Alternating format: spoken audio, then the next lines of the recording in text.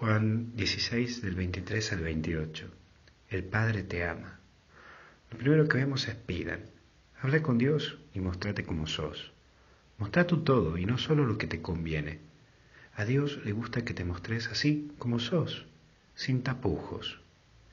Hoy recurrí a Él y abrí tu corazón, porque es tu Padre Dios que te escucha y también te mira pero también te invito a una alegría perfecta.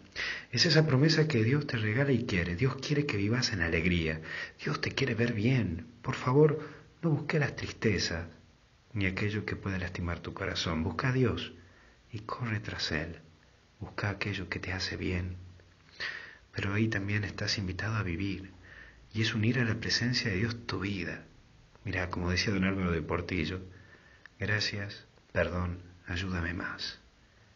Hoy que estas sean tus palabras frente a Dios y deja que tu corazón se transforme en Él y que en este día varias veces puedas decir a Dios, gracias, perdón y ayúdame más. Que Dios te bendiga y te acompañe en el nombre del Padre, del Hijo y del Espíritu Santo. Cuídate.